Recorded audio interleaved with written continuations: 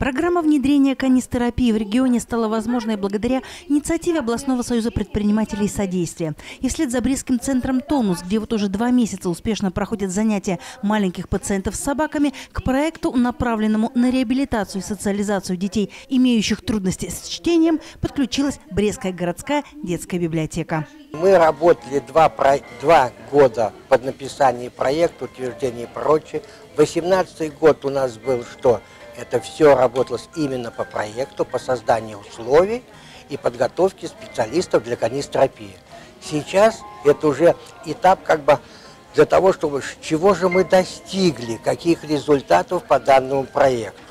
Старт проекта в библиотеке начался со знакомства четвероногих помощников со своими будущими подопечными. Ребята будут читать сказки вслух специально обученным собакам-терапевтам – бельгийской овчарке Кире, немецкой овчарке Бьорну и малышу Рассел-терьеру Джеки. Занятия предназначены для детей, которые уже умеют читать по слогам, но по разным причинам не хотят или испытывают трудности. Специалисты считают, что читая собаки вслух, у ребенка исчезает психологический барьер. Животное не перебивает, не поучает обучает, не заставляет повторять прочитанное. Ребенок уже более раскрепощается.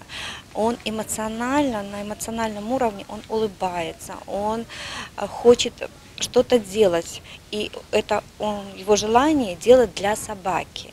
Да, то есть мы пробовали, ребенок и кормит собаку, и вытирает ему миску, и пытается а, пристегнуть поводок, если мы вводим собаку э, за поводок.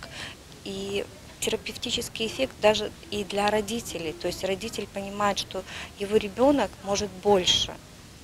На самом деле может больше сделать, может больше прочитать или также посчитать тот же корм для собаки.